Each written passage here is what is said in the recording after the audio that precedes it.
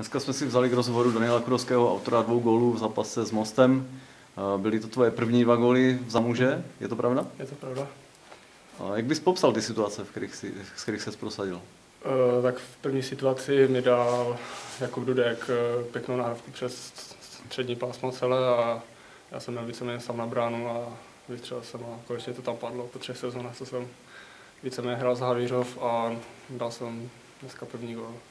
A trefil se parádně. Mířil jsi tam, kam si chtěl dát? Jo, mířil, viděl jsem tam, viděl jsem tam mezírku, tak jsem mě vystřelil, zavřel oči a doufal, že to tam padne už konečně.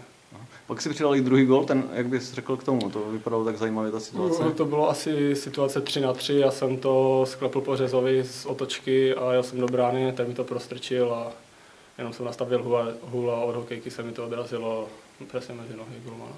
Byl jsi blízko hetriku, co chybělo k tomu, abys, abys to zkompletoval? Tak to asi nevím, co chybělo, ještě jsem tam měl nějaké střely, ale ty se nepovedly. A pff, ušetřil jsem, no asi. Platil bys hodně nepokladný určitě. No, určitě ano. Jak, jaká byla letošní tvoje sezona, kdyby si tak jako v celku zhodnotil? Ty jsi hrál eh, něco tady, něco ve Vítkovicích?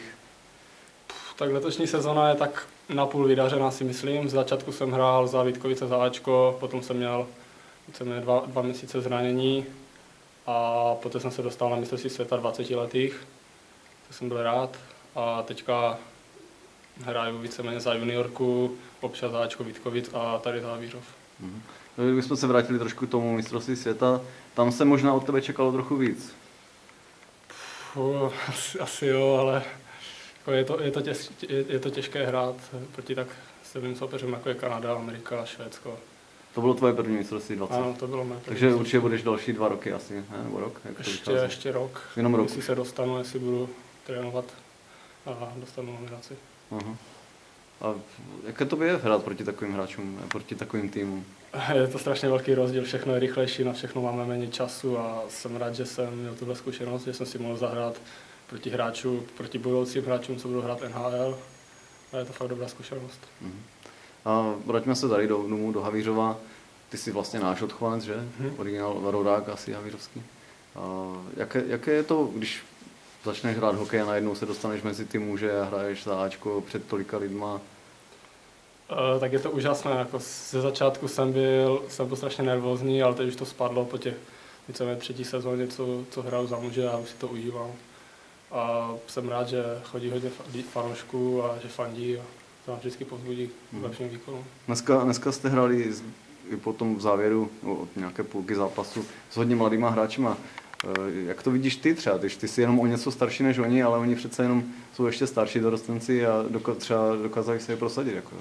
Jo, tak je to, je to dobré, že i mladší hráči se dokážou prosadit v seniorském hokeji. Uh, ty asi nějak rady ještě nedáváš, ještě nejsi v tom. ještě na to nemám věk.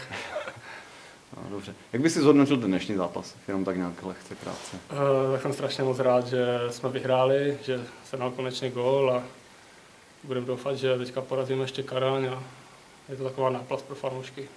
Dnešní hokej podle mě z, moje, z mého pohledu byl takový hodně pěkný. Z obou stran bych řekl, že to byl takový, že se nehrála nějaká úplně brutální obrana. Jak, jak, viděl jsi to tež tak, nebo nějaký? No, byl to takový ofenzivní hokej, mi přišlo.